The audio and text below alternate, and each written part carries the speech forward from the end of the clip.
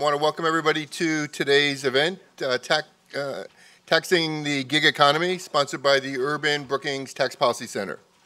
I'm Mark Mazur, the uh, Robert C. Pozen Director of the Tax Policy Center.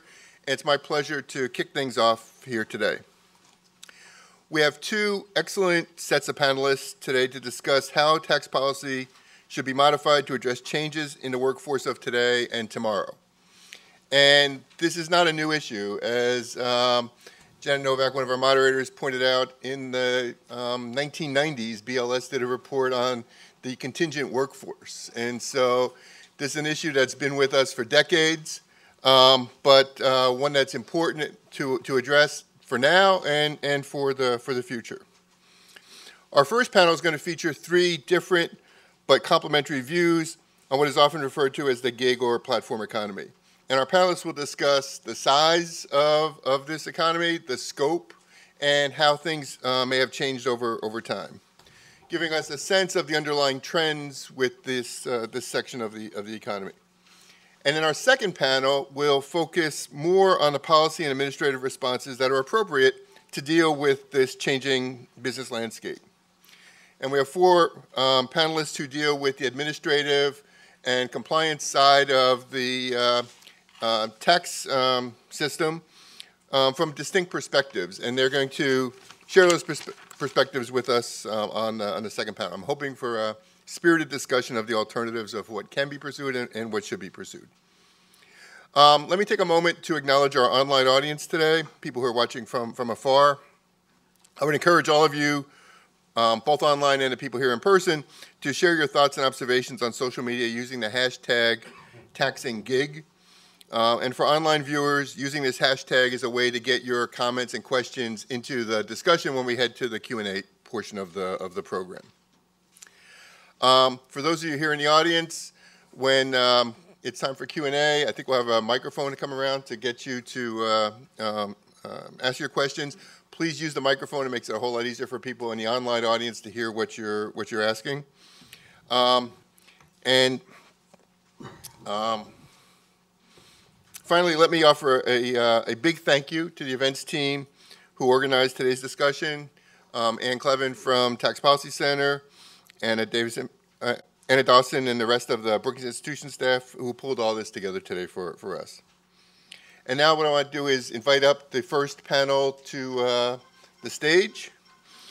Um, our first uh, panel will be moderated by Janet Novack, um, DC Bureau Chief for Forbes um, and a long-term chronicler and observer of the um, tax uh, of tax policy. She'll kick off a substantive discussion with Mike Udell from District Economics, Adam Looney from Brookings, and Elaine Maag from the Tax Policy Center.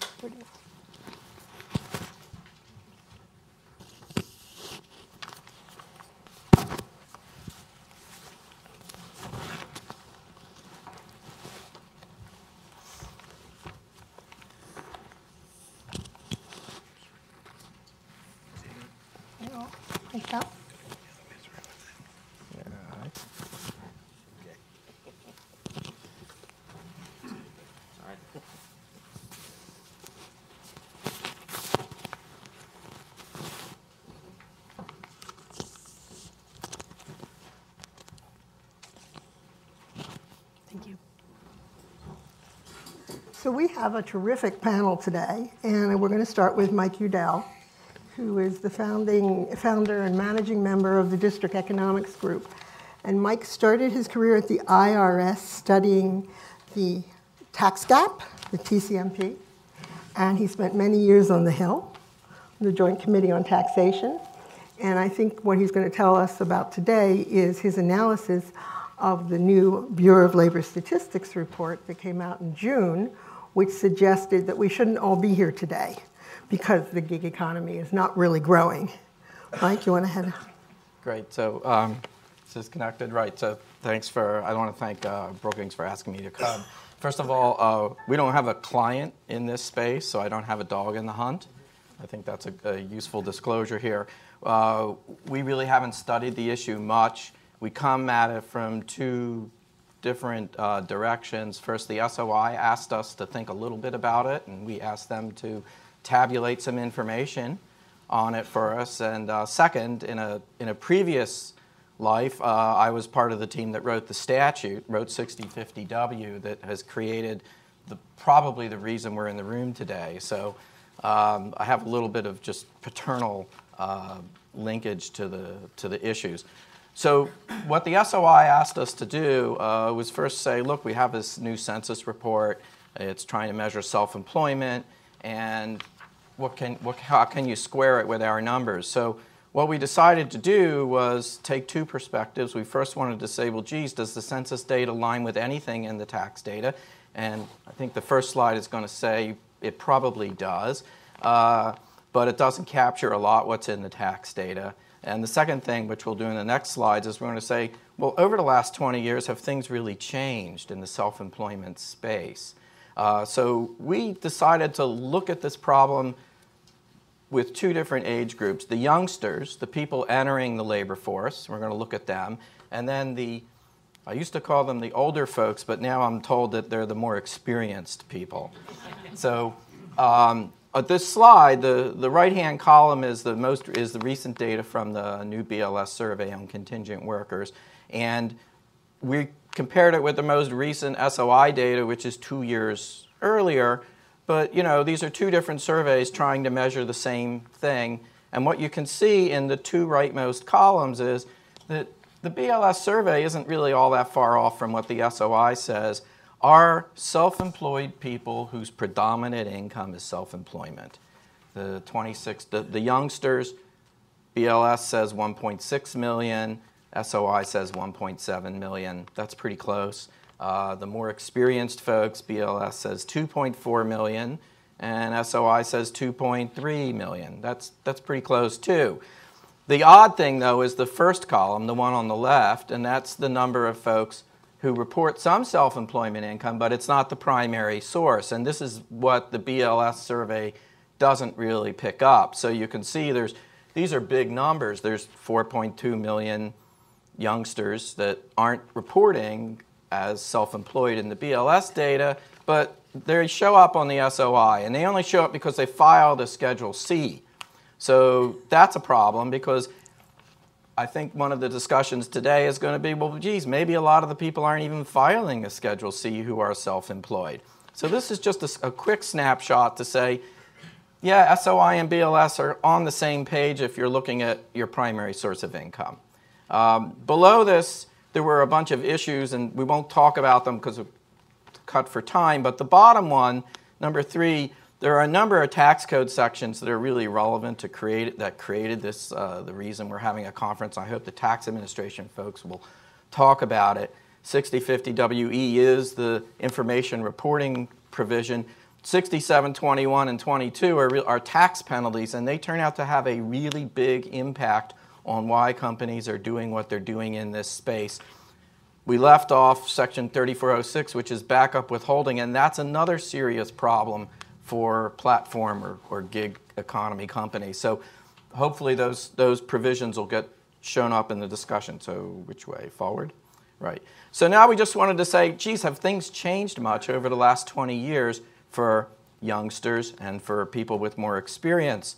And so this is just a frequency count of how many times um, a Schedule C shows up on a tax return. So in the leftmost column in 1995, the top gray bar says 2.9%. 2.9% of youngsters in 1995 had their income predominantly from self-employment.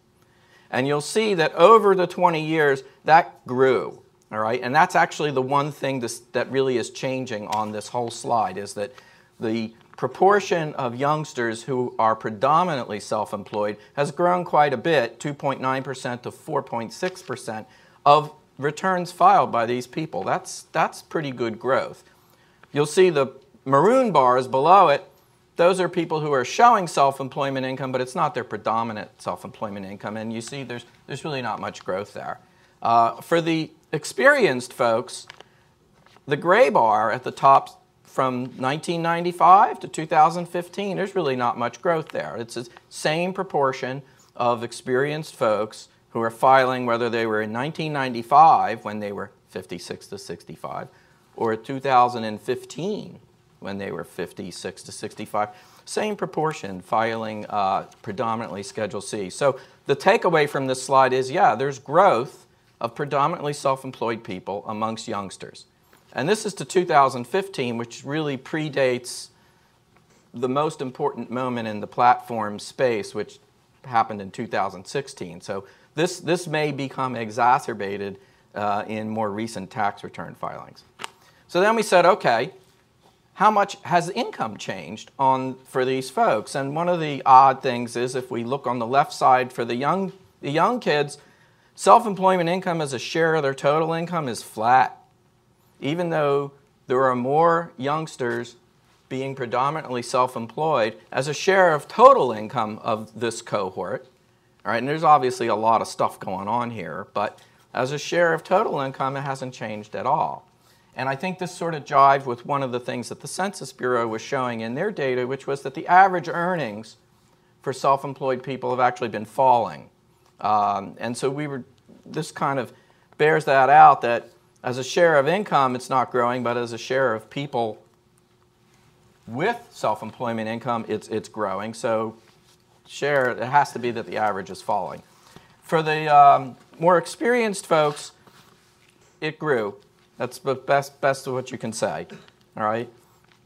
And finally, we said, well, geez, has this changed on a per capita basis? Same snapshot.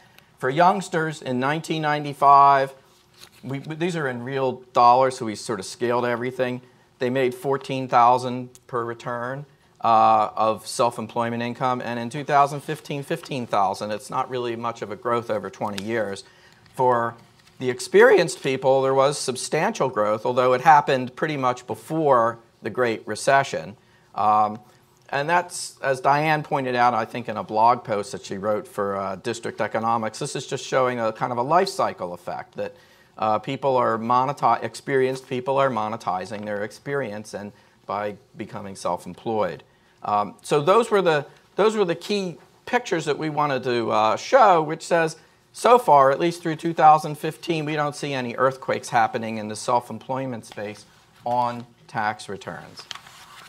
We were then asked to quickly think about, well, uh, are we really measuring this stuff? And our last comment, uh, the comment that we left the SOI meeting with was, this is probably the wrong place to look if you want to figure out how big the gig economy is, it's probably the wrong place. You probably don't want to look at individual income tax returns.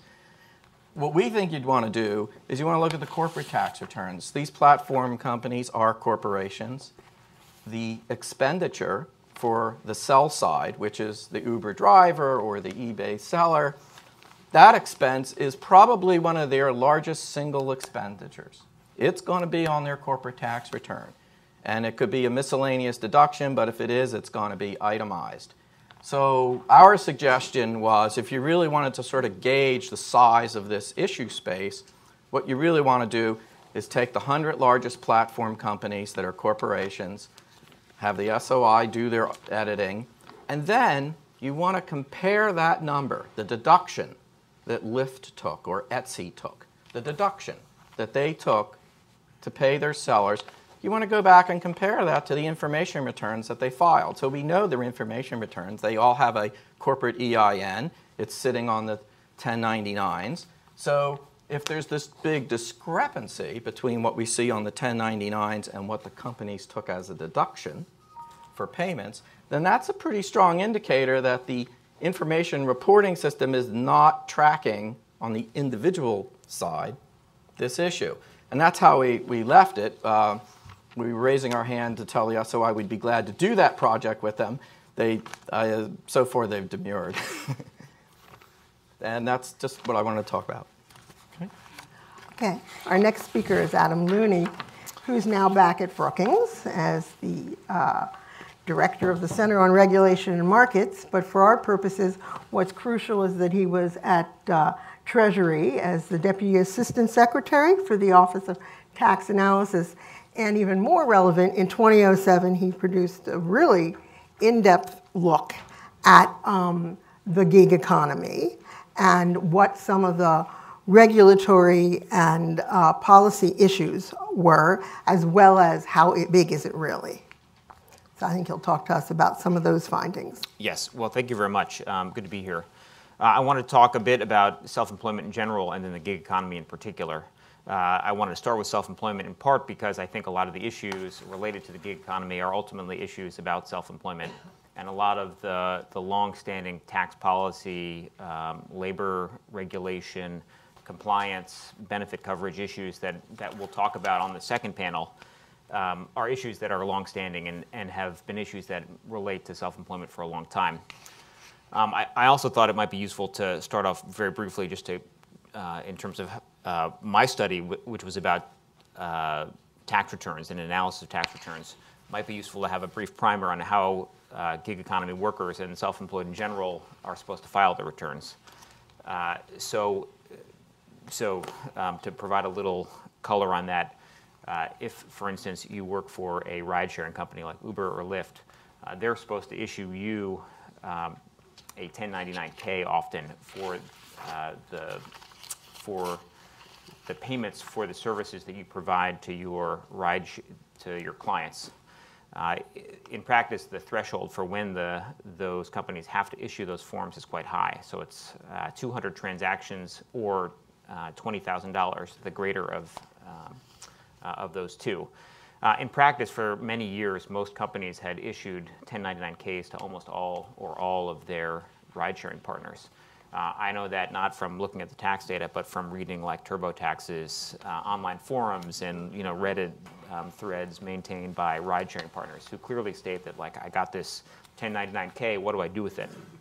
Well, what you're supposed to do with it is you're supposed to take the information about how much you got, uh, you received in gross receipts from, from Uber. Uh, you're supposed to plug it into your Schedule C when you file your income tax return. Uh, on Schedule C, that reports your net income from your sole proprietorship. So you put on the receipts that you uh, receive from them. You subtract any expenses, things like uh, the cost to maintain your car or the standard mileage rate, um, any, any other costs associated with um, providing your, um, your service, like if you offered water bottles to your clients, for instance, you would take a deduction for those. Uh, and then only if you earn $400 uh, in net income from your Schedule C do you file uh, Schedule SE, which is reporting self-employment income.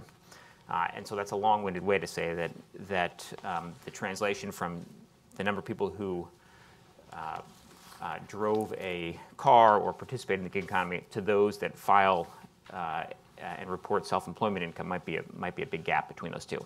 And, and indeed, that that'll be something that I think we come back to as well.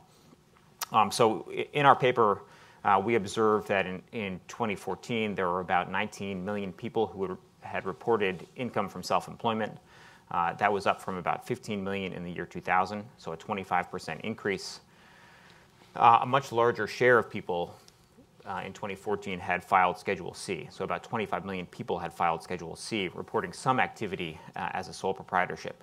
And so the gap between 25 million and um, the roughly 19 million who had income means that there were a lot of people who did not earn enough income to either earn a profit or to earn at least $400, uh, and therefore did not file a Schedule C, uh, Schedule SE, excuse me, and have, and have income. And so that's a very big gap uh, and I think that we'll come back to that because it turns out that there's a lot of people who participate in the gig economy who don't earn quite that much money.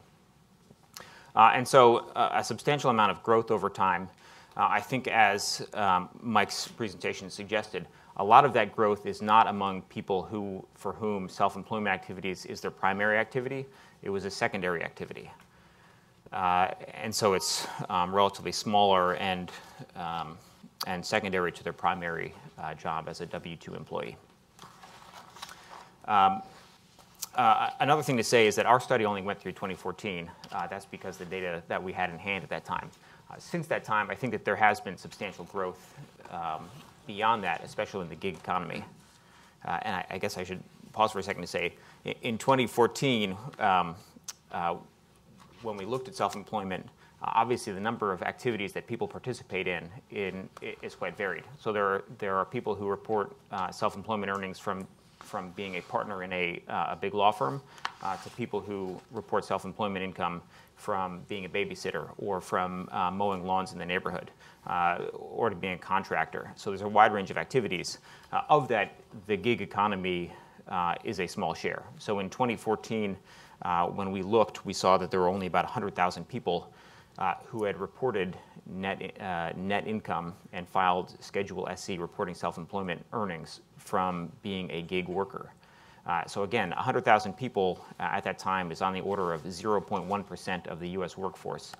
Uh, that was also a time when I think that if you looked at um, uh, some ride sharing companies' public statements, that they were saying that there were 600,000 people who were uh, partners in their platform.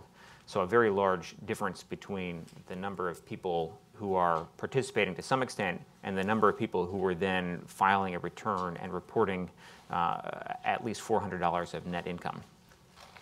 Uh, I, again, that was for 2014. I think since 2014, uh, there's been very rapid growth. So I think that there are there are uh, researchers at Harvard, Berkeley, uh, uh, University of Illinois, and University of Chicago who are working on these issues. and and I think that if you ask them, they would find that the number of gig workers who are reporting self-employment earnings has gone up to something like 600,000 uh, 600, people by 2016. So a very rapid growth. Uh, but again, um, probably a growth that in, in secondary employment, not the primary uh, employment.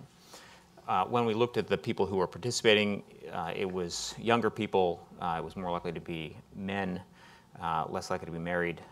they had relatively low earnings.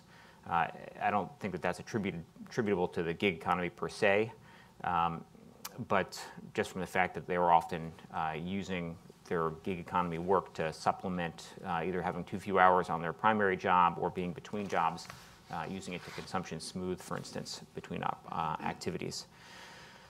Um, uh, in terms of their net income, when we looked at how much uh, in 2014 these workers were working, uh, were earning, we, we saw that they earned only about $6,000 from their activity. And that was contingent on um, having um, reported positive uh, net income. So, kind of relatively small amounts of money, uh, even conditional on having earned any.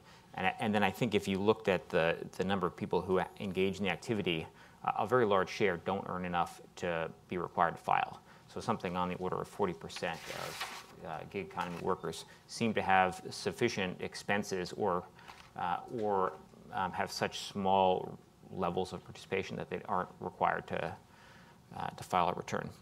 In terms of other characteristics, uh, they were otherwise quite similar to uh, other self-employed workers. So for instance, they had relatively lower rates of coverage from health insurance, about the same rate, 75% coverage rate as, as workers uh, who are self-employed versus a 90% health insurance coverage rate of primarily W-2 workers.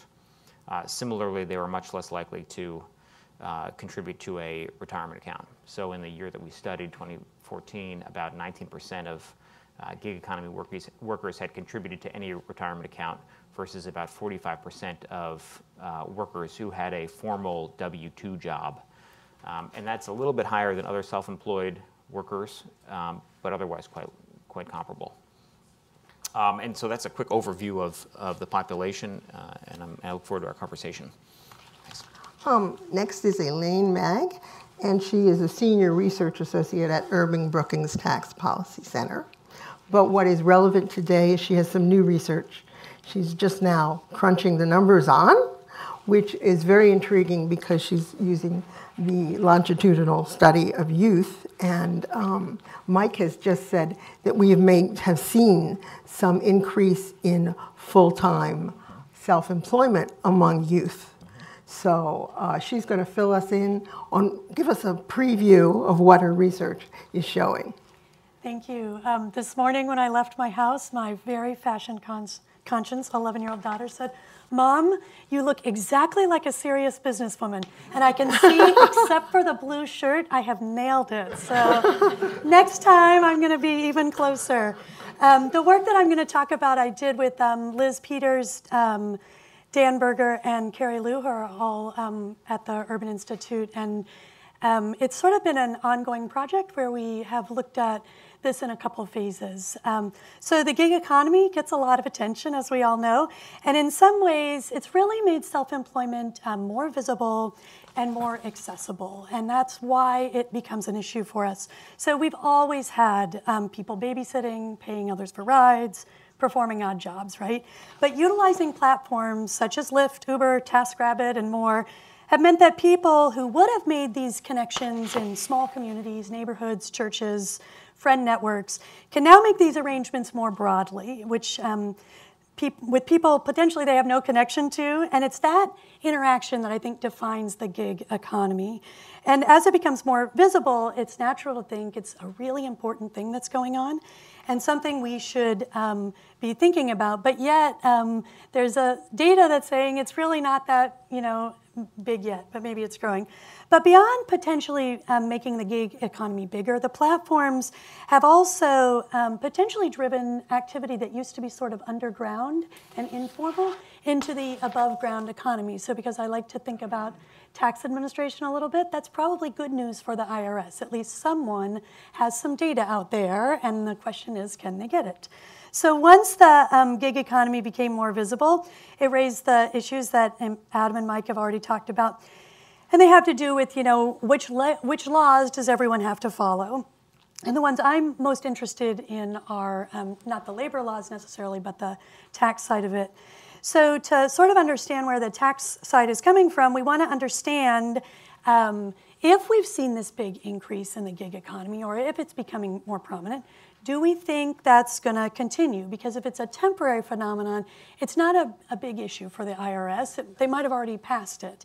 Um, but if we think it's going to continue, then it's something they um, should start to be really concerned about. And my argument would be that from earlier work, I think it's going to continue, and that's because of a phenomenon that a lot of people are talking about, which is income volatility. So there was some work done here at Brookings that shows that over time, incomes have become much more volatile year over year. And then work that I did um, with my colleagues at Urban show that even over the course of the year, incomes are very volatile.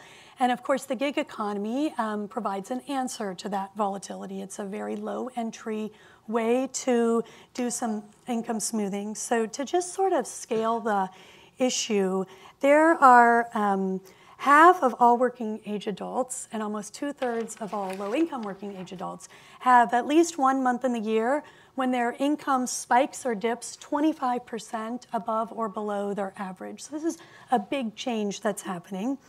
And nearly 40% of low income workers um, have household income that's doing this spiking or dipping in six months of the year. So people are just experiencing a tremendous amount of volatility, and it's natural that they would look for ways to sort of smooth this.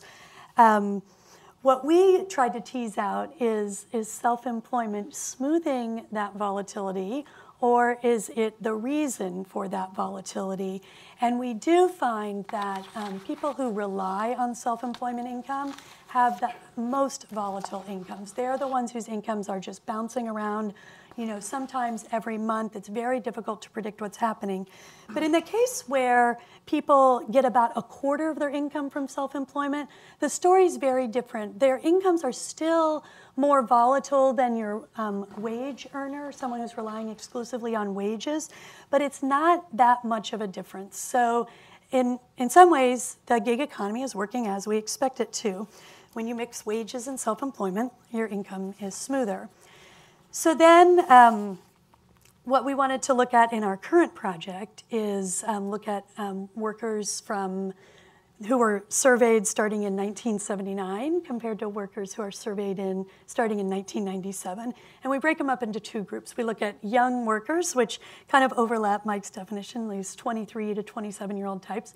But then we have mid career workers also who are 30 to 34. And We don't have older workers in that because our. Experienced. Uh, well, I'm under 55, so I can still say older.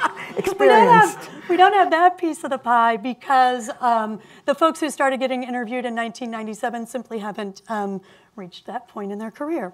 Um, so we find several things that I want to talk about. The first is that um, people who are self employed in one year or receive some income from self employment are extremely likely to receive self employment income in another year. And that's important for tax administration because there's some sense of if the IRS can find you once and teach you how to fill out these forms, and you're likely to have that obligation year over year, then that's something the um, IRS can work with and people can learn how to comply with the tax law. So that's probably good news. So it used to be in my older um, group, the ones that started being interviewed in 1979, about half of them would report self-employment year over year. And then when they're, as they age, those numbers increase. But by the time we're a little bit more um, current, so my 1997 cohort, again, about half of my young people report um, year over year self employment, but almost three quarters of this older group. So they're really settling into um, some sort of self employment that's going to be um, coming into the household every year. Um, men are more likely to be self employed. And if they're self employed in one year, they're really likely to be self employed in another year. And um, this you know, is important because of compliance. And then the final issue is that if you mix self employment income, um, we also observe that if you're in this older group, you're really likely to be mixing it um, in a second year. So, coupled with the fact that these platforms have some information and that people are um, experiencing these same sorts of income types year over year, I think that's potentially good news for the IRS. Um, so, the other thing we find is that um, there's a lot of differences in women and men who are self employed. And one is that women who are self employed tend to have children. Um, they tend to um, um, be mid career. And this looks a lot like other populations, and they tend to have um, quite low incomes. And this looks like other populations the IRS deals with, and those are folks claiming the earned income tax credit and um, child tax credits. And so here's an opportunity for the IRS to be thinking about a group that they're touching with one program, potentially touching um, from another angle. So I think that's also, you know, some good news for the IRS. So overall, my sense is we're just really starting to get a handle on what's going on in this new gig economy. We're um, kind of having old issues come to the front. But I think that to the extent that these platforms are going to serve the function of being consolidators um, of people's labor, then it's probably something that um, hopefully the IRS can you know, find a way to work with them and figure out the compliance side. Well, That's really, those are all very interesting presentations which tell us a lot and also how much we don't know. So after listening to the three of you and reading the work you've produced, um, there are three things that jump out at me. One is that the gig economy is larger than the BLS would tell us, but a lot smaller than the media hype from us and other people would, would suggest that it's growing and you know we push it. Um, the second is that most of the policy concerns, health and retirement benefits and tax compliance, are not new. They've been around and they were studied back in the Clinton administration. And the third is that a lot of the platform work that we now call gig work is really producing, particularly on an after expense basis, if you think of the, Ur the Ubers of the world, very small amounts of income. So if I take those one, two, three points, then what, what, what the question I'm left with is if much of the growth in self-employment is moonlighting, setting aside this, this younger cohort that a greater percentage are now working as self-employed, um, are there really any new issues we need to worry about? Or are they the same old issues um, of benefits coverage and misclassification of workers, which I believe, Adam, your paper said a lot of the growth you believe to be misclassification. But are what new issues, or is it just the same issues with maybe a little bit of um, more hype and reason to pay attention because of the potential of the gig economy? And I wanted you all to address that. Um, you want me to jump in? Yeah. Um, so I, I, guess the, the first thing to say is um, the employer-employer relationship is very important for a wide variety of um, employer-provided benefits, for tax compliance, uh, and for uh, labor regulations. So the fact that your employer gives you a W-2 that, that uh, and withholds taxes makes you much more likely to file a return, makes you much more likely to be compliant with the tax system, um, um, and uh, makes you much more likely to, to file the taxes you're due. Uh, similarly, we provide a lot of uh, employer benefits like health insurance coverage, uh, 401k retirement coverage uh, through the employer-employer relationship. And so that is a, a primary de- um, delivery mechanism for those benefits. And then finally, there are a whole uh, number of ancillary other issues that we, we address um, through the employer-employer relationship. Those are things like the minimum wage, uh, health and safety regulation, anti-discrimination rules. Um, and, and so it, it is an important institution, and, I, and the, the longstanding um, you know, policy battle has been about how to define that relationship uh, and how to, to deal with cases where the employer-employee relationship is ambiguous uh, or where employees or employees uh, want to um, divest themselves from that relationship. Uh, and so those are, in some ways, longstanding issues. Um, I, I think that they uh, their importance has increased and, and grown and and shrunk over time. Uh, it seems like a time today where um, the availability of online platforms has has made it easier to kind of divest from the traditional relationship.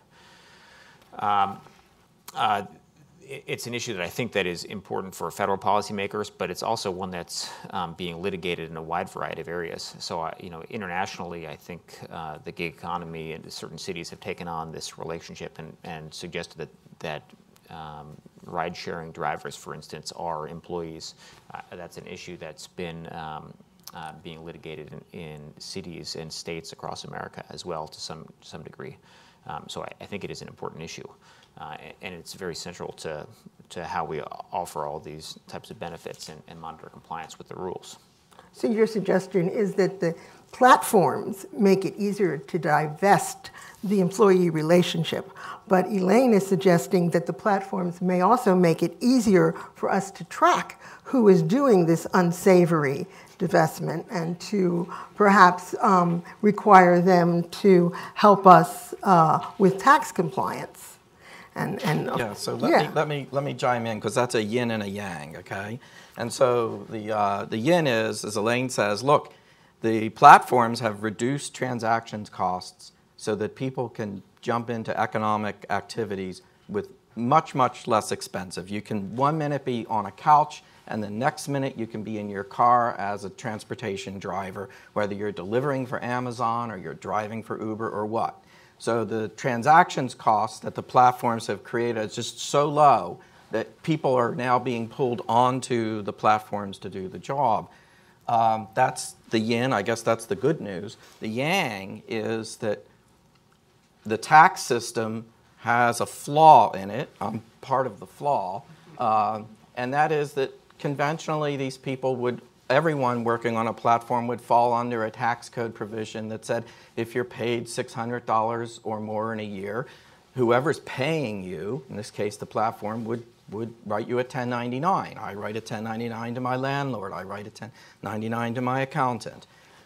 6050W has this giant safe harbor sitting in there. It says, nah, it's $20,000 and 200 transactions. And so these this $600 threshold and this $20,000 threshold are really the entire tension. And the platforms, everyone is driving into the $20,000 safe harbor because there's a letter ruling that came out in 2016 that said, yes, go ahead. If you're a platform business, the people you're paying, if they're not employees, they get this special $20,000 safe harbor. So what's happened, or we think it's happening, because we don't know quite yet, um, is that these people simply aren't getting any information that shows up at the IRS. They're getting information from the platform about what they did, and very detailed information, which is quite an opportunity for tax administration. But that information isn't necessarily getting to the Treasury because it's not hitting the $20,000 threshold. That's a serious compliance problem, not only for the income tax, but it's also really the payroll tax. It's really shortchanging the people who are providing labor on the platforms because we're not, they're not contributing to the payroll tax system. let alone unemployment, et cetera, the other traditional employer things that the costs the employers take. This payroll tax system is probably being really shortchanged here. It's just that's an opinion. I don't know if it's a fact. So I think you have these two forces going on that are that are in tension, and the twenty thousand dollar threshold, the safe harbor, is really something that needs to be resolved. It can't sit on the tax code next to a six hundred dollar reporting threshold. That's in, there's an inconsistency there that needs to be addressed.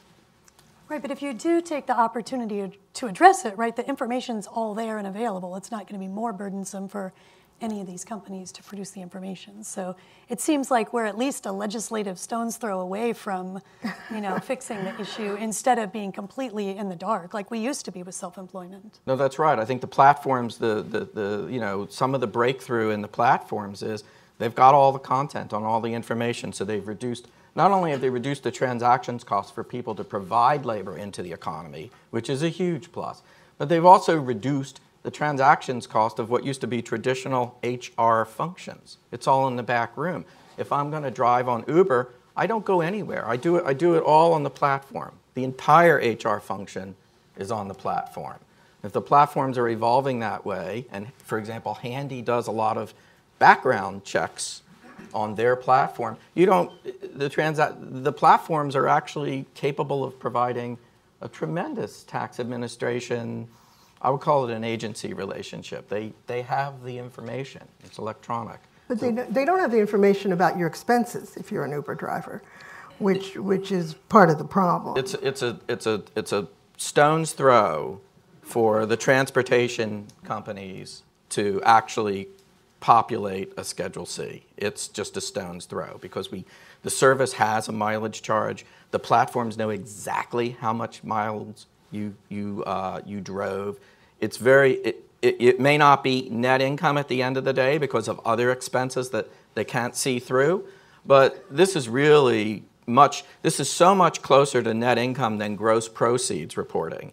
And that has been the big evolution in, in tax information reporting is going from gross proceeds down to net income. So, you know, when we did 6050W, it's a gross proceeds reporting mechanism. But the platforms have a lot of information, not all of them, about the deductions that ought to, ought to flow.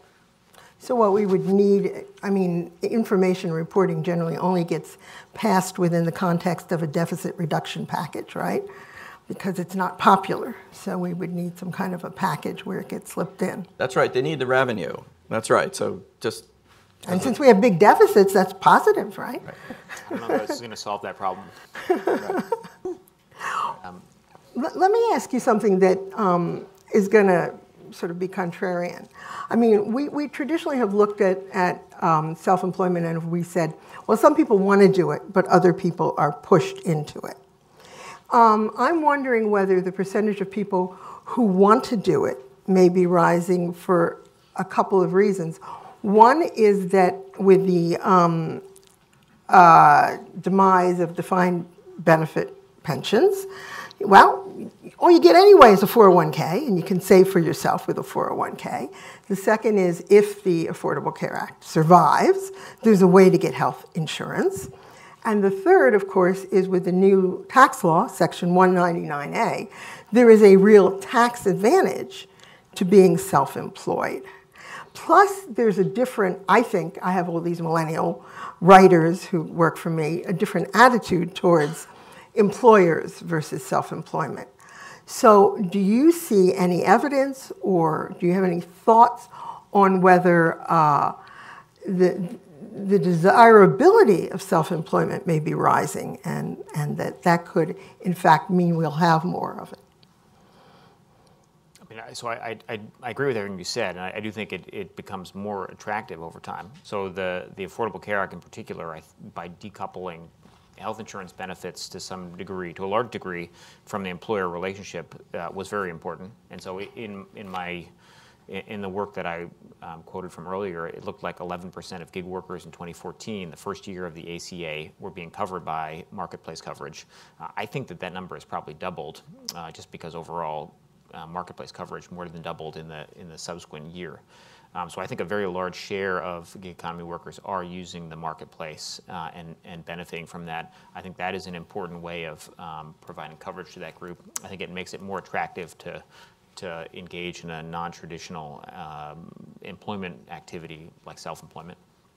Uh, we've kind of already done a lot of that for retirement coverage, uh, where people can, if they want to, go out and sign up with Fidelity or some um, brokerage to, to have a, a, an IRA or something like that. Uh, and then I think certainly 199A uh, makes it more attractive to be self-employed um, rather than being an employee, just because you get a, a very large ex uh, exclusion from um, your income for, um, for, for that. And then, uh, you know, I, I, wish I could speak to the uh, attitudes and impressions of the millennials. Um, um, I don't know that I'm well positioned to do that. Uh, but I do think that there is some flexibility offered by this, and, and, and people enjoy that. So I, I, and then I guess the other thing to say is that it certainly is growing quickly, and so there are a lot, a lot more people who participate in these platforms and who use them um, um, to supplement their, their other income. So it is clearly an, a very active area and growing quickly. Although, as we've been saying, the platforms may be consolidating the kind of informal work people were doing before, right? Yeah, and I think Yeah. also expanding there. I Yeah, mean, definitely. You know, if it, if it used to be your kind of local groups and your, your, the network that you could drive yourself, suddenly there's a, a whole city or uh, a local area that's available to you to, to market to in effect. When, um, this is, I'm, I apologize, I'm a news person. This is an on the news question. When we talk about the policy failings, Adam, we talk a lot about retirement. And yesterday, the Bureau of the Department of Labor came out with a suggestion that they would let um, independent contractors join these multi-employer organizations for the purposes of 401ks. And I was left with the question of why we have IRAs, we have SEPs, we have solo 401ks. What we don't have is um, automatic enrollment or the, maybe the spare cash to contribute. Do you think that this makes any difference? Is this a policy solution or is it just window dressing? Um, I, I mean, so my, my impression is that a lot of the challenge that people have saving for retirement is, is having the cash to save um, uh, and, and a nudge perhaps from their employer to, to encourage it. Um, so I think that there is something to, you know, having an employer that automatically enrolls you or that provides you a nudge to, to enroll. Uh, and you don't necessarily get that from, you know, being self-employed and, and beyond, beyond a nudge, you have to kind of very actively seek out a, uh, a provider. So I can see that being a barrier. Um, but at, at, the end of the day, I think a lot of the problems we have with uh, retirement coverage are not about um, people, you know, I, I, think they're about people not having the income uh, to save and, and the pocket money. So in some ways, I think that those, those, uh, those types of efforts to make them more available uh, or to nudge people are intrinsically limited. Um, Elaine and Mike, both of your research shows that seems to suggest that more of the younger cohort are persisting in self-employment. So the question is that could that be an artifact of the Great Recession, or are your numbers from such years that it is not that? So the years that we're looking at right now, we specifically avoided the recession years because we were concerned that we'd get an artificially high number. Um, I think that absolutely it had to have happened, right? When the regular jobs go away, you still need income, you still have expenses. It's I think it's natural you would look to places to plug those holes. Yeah. No, I would agree. So I mean, we, we just got very lucky in our data. 1995 2005 and 2015, if you think about where they are in the business cycle, all three of those years are in the upswing part of the business cycle. So we were just lucky that we were able to use the, those kind of years. So I, I, I don't think we had the, the Great Recession effect, although there is a Great Recession effect in terms of income of the experienced people. It's simply flatlined between 2005 and 2015 uh, from self-employment activity. So, you know, the Great Recession clearly has changed earnings quite a bit, but at least in our data, uh, we, we got good, good data points because they're in a similar part of the business cycle. Um, but I do want to go back to the, the, the individual and the 401k or the SEP IRA problem. One of the things that's happened in the tax code is originally for self-employed persons, we would pay our, and I'm self-employed, we would pay our estimated taxes quarterly. Our, our employees, they get their estimated taxes paid on with every paycheck. And originally that structure was set up because it's burdensome for the self-employed person. Well, we know from tax compliance that self-employed people have pretty poor tax compliance. It shouldn't be lost on people that with the platforms, we could actually flip a lot of this problem on its head and solve it. It is administratively burdensome for the self-employed to do these activities because they have to do them themselves. We have to pay our estimated taxes, we have to put away money, and we have to do it in a lumpy way. To the extent that self-employed people are now earning their labor income on platforms, there's no reason that a platform could not do all those activities. They have all the information. And so from a tax compliance burden perspective, the platforms actually offer a tremendous opportunity to address some of the non-compliance problems of the self-employed. The platforms can withhold. They've got all the they've got the money, they've got the, the data. The platforms could contribute to some kind of a savings plan. They have all the money. I, we don't have a client in the space. I'm not I'm just saying that in the older days, all that burden sat on the sole proprietor. I had to do it all right? And I'm terrible at filling out a quarterly estimated tax payment because it's scary, because it's so, it gets so large. But for my employees, they, they don't even notice it because it comes out like every paycheck. Maybe they do notice it, but, uh, but it comes out every paycheck. And so I'm doing their compliance burden. So in a sense, we've got the tax administration system sort of upside down with respect to self-employed. They're, they are the burdened group right now. I think we should be going to the audience for questions. Sorry. Does anybody? Yeah. Yes. Go ahead. Hi, my name is Christina Fitzpatrick from AARP. And I have a question about data. Um, we are trying to get a grasp on what we are talking about here, about the gig economy, how big it is, how much it's growing. We have IRS data, we have um, current population survey data. And I'm wondering what we know um, on the individual uh, survey side about how people who are self-employed, who are doing this gig work, how they identify. So when you ask them, are you self-employed, what do they say? And for all these other questions, as researchers, we have to interpret what they're saying, and we don't know, I don't know, what they're thinking about and how they respond to these questions. So is somebody looking at that, and what do you know about it? So I think there was a paper that came out pretty recently that says people aren't really good at reporting their self-employment on these surveys. So I, you know, it seems like we're most certainly undercounting.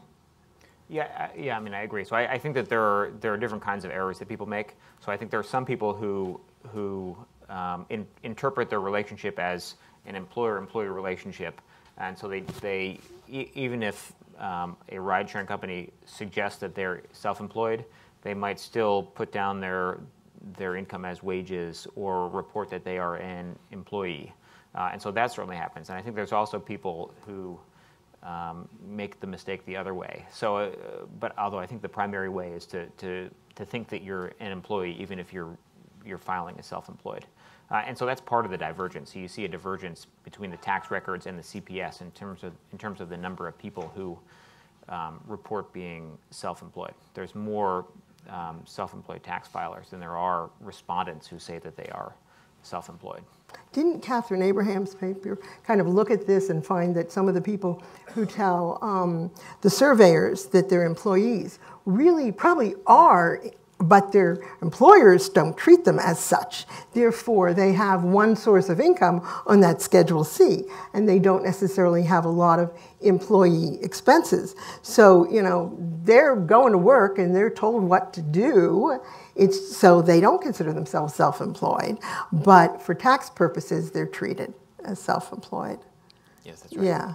So that would be. And again, it's a complicated, I, I, don't remember how many questions are in the test of whether you're an employee or a contractor, but it is a very long facts and circumstance um, test. And it, the IRS has not been able to issue guidance since the 70s. 78, yes. Yeah, 78. They were told, don't do anything new on this. Yeah. yeah. Yeah. Ken Simonson with Associated General Contractors. Very interesting data and analysis of it. I, I, I'd like to see this three years from now because I'm wondering, is this a phenomenon of the business cycle and specifically the level of employment or of age groups? So are these 25 to 35 year olds likely to transition out of uh, doing gig work? Are the uh, people in the 55 to 65 age class, as they leave paid employment, are they likely to do more gig work themselves? And also, as uh, wages or compensation start to accelerate, as we seem to be seeing in the last few months, will that draw more people away from doing gig work and into uh, wage paid work? And so I wonder if any of you want to speculate on those things. So I think those are really interesting questions, and that's one of the reasons we're using the National Longitudinal Survey because we can, you know, look over someone's, you know, entire career, and we have a pretty long horizon. We're not going to be able to answer for 2018 because we don't have those data, um, but that's the next step in the research. So we've sort of got the data so we can look year over year, and now we're going to daisy chain it all together so we can look over someone's entire career. So that's a great suggestion, and you know, it'll be in the paper. Anyone else have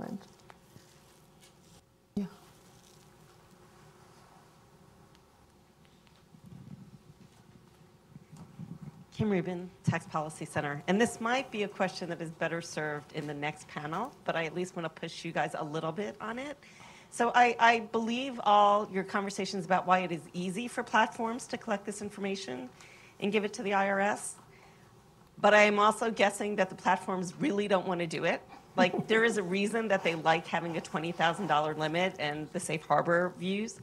Um, can you give your perspectives on both why you think that this is something that is not onerous on them, and also what reasons you think they would give for why they shouldn't have this responsibility? And then we'll ask it again in the next panel. Uh, Can I, so uh, just let me, let's give a little background here. So the statute was written in 2007, right when the iPhone came out, but before the App Store came out. So we didn't have platforms. Well, we had eBay, okay? And so the entire reason that the $20,000 safe harbor is in there is the following. If you go to a flea market, if you were the IRS and you started walking around a flea market and said, I want to see that income reported on your tax return, all right? The IRS doesn't do that, all right? But if you actually said, I want to see that income, and the person sat down and calculated what they earned in the flea market, and then they subtracted cost of goods sold, in most cases, the net income would be zero. All right, so when people are emptying out their attic and they're selling it in the flea market, there's no income there for the tax system. So along comes eBay, and all, it, eBay is basic, was a nationwide flea market. I mean, that's the way to think about it. All right. Yes, there were a whole bunch of big overstock sellers selling their computers, but at the lower tail end, where the bulk of the participants were, it was a nationwide flea market. And so we realized very quickly that if we required 6041 Cap A reporting, $600 of gross proceeds for people who were selling stuff on eBay, and if we flooded the system with those 1099 documents, and the IRS put that into a document matching program, which is the entire reason to have an information return, they would be overwhelmed with what we would call false positives. They would see a gross proceeds on a 1099 they would shoot out a, a, uh, uh, a nasty gram, some CP notice that says you owe us $1,000 times your, your tax rate, pay up. And in fact, there was no income at all. So we realized that if that were to happen, what the IRS would do is they would pull the plug on that, ten, that Form 1099. They would not set that system up. The 1099s would end up on a transcript and if you were audited, it would show up there, but it would, no, it would be useless to the system. So the $20,000 safe harbor came in because, as rough justice, to figure out how to prevent the tax administrator from being overwhelmed with really bad information. And so $20,000 was sort of the threshold where we thought, yeah, you're, you're in a trader business above that, and you're emptying out your attic below that. That's how the safe harbor came about. So it was for the sale of goods. When we wrote the statute, the word and services showed up because goods and services never are uh, uh, uh separated. They're like twins. in the tax code. So you don't have a statute that says just goods. So in drafting, it was goods and services. This is before the App Store showed up. Now all the services came on the platform and they said, well, we fit that. And there's a, now a letter ruling out there that says, yeah, you do. And so everyone's driving through that $20,000 safe harbor. But for labor services, there's income. It may not be very big, but there's income. And so this is, this is the problem that got created. Yeah, I mean, can I Yeah, say one other thing? So, I mean, I, I think that the, the ultimate challenge in, in tax compliance is that you're, you're spending real resources to effect a transfer from the taxpayer to the government. And um, the question is how much, um, how much of the, of the pie are you burning by trying to promote compliance?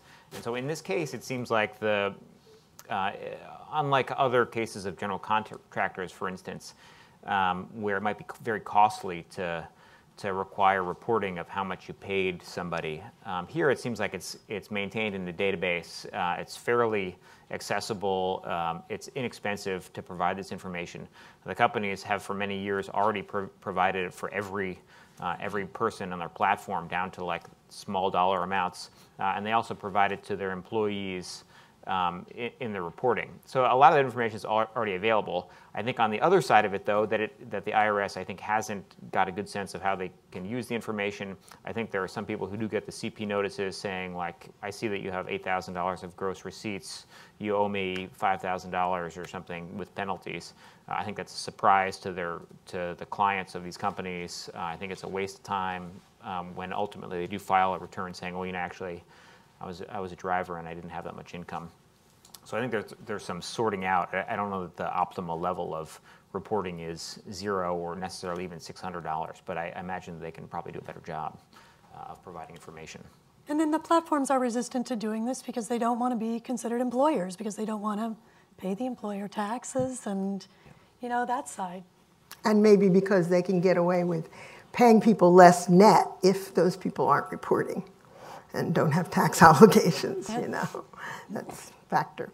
I think we have a really interesting question from that came in online about the bifurcation of the self-employment market. Because Mike, your numbers show that among the 55 to 65 year olds, the older people with their human capital, their earnings per self-employed person are actually going up.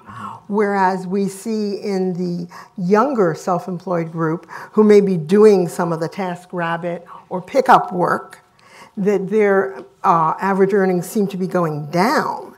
So are we seeing a bifurcation in this self-employment market between high-skilled knowledge workers and people who are just responding to what the platform asks of them for that hour? And do we need to have different policy or tax approaches based on that? What you do? I, I, I think that these are the tale of two cities. Um, for the, for the uh, experienced folks, I don't think they're really that much on the platforms. I could be wrong.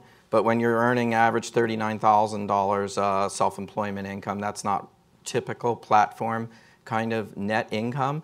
Uh, the experienced folks are monetizing their, their, their life cycle effects. They're monetizing their professional experience. The younger folks, this is actually the census, Katharine Abraham's paper is really good at this. Um, what's we think is happening is, is that there's just a, an, an increasing number of young people moving onto the platforms. And what's happening is, is that they're sort of moving down the supply curve and they're earning less and less and less. And so average earnings are falling just because they're adding more and more people who are only working 10 hours a month, all right? And that's because the beauty of the platforms is the transactions costs are so low. So it's easy to hop in. And I, I think that the average earnings number can be a bit of a misnomer because it's, it's belying the distributional change that's going on. It's not that all of a sudden people are earning less. It could be that the, the hard, if there's such a word as a hardcore Uber or Lyft driver, someone who's really working at it, their earnings may even be going up. It's just that because transactions costs have reduced, access to the platforms is, is encouraging people to join. And we're getting a big tail of people working a little bit. And we see in the NLSY our older group of workers in the more recent data, um, men seem to be raise, um, earning more. Women seem to be, you know, that 25th percentile tail is getting smaller and smaller. So people, low earners are earning even less if you're a woman. Did you have something you wanted to add? to No, I think that was, they covered it. Well, we're almost out of time, so I'm going to ask if any of you had something you wanted to add that I kind of glossed over or that has come up in our discussion. I'm good. Is there anyone with a burning question? Okay, we have time for one burning question. Excuse me, uh, Gerald Chandler. I'm not sure it's burning, but I'm I'm sure of your definitions. Uh, gig economy and platform economy are not exactly the same. And if we look at the traditional gig in, uh, people, which are doctors and lawyers, are you including them? I mean, so I, I'm thinking primarily of those who are on the online platforms. And I mean, I, I feel like they're, uh, and, and even more than that, I'm usually thinking of people who are providing services through the platform. So like drivers and, um, and workers, not necessarily even like the Airbnb or VRBO types. And then the, no, the original, um, no, that, that term has been expropriated from, I think, the gig economy of before, where it was kind of, um, you know, a, a much broader class of, uh, of workers. Yeah, yeah. I, I think I think Katharine Abraham actually had a really nice little comment in one of her papers that she thinks, and I'm going to trust her, that gig came from a gig, from a session musician showing up, and a gig was a one-off, a one piece. All right, it's a you did one job, you did one product, and you handed it, and that was done. You were done with that relationship. I really think gig is a misnomer here. These are the whole discussion is about platforms. Everything is really about platforms. In your initial data of self-income, does it include doctors and lawyers? Yeah. So ours does in the NLSY. We're looking, you know, we have some very wealthy people, and we have thought about should we be treating them differently in the analysis. Um, right now, we sort of look at people at different points in the income distribution because we think the issues are probably a little bit different for, uh, you know, someone making four thousand dollars a year versus ninety thousand dollars a year. Yeah. Well, thank you very much. That was very Great.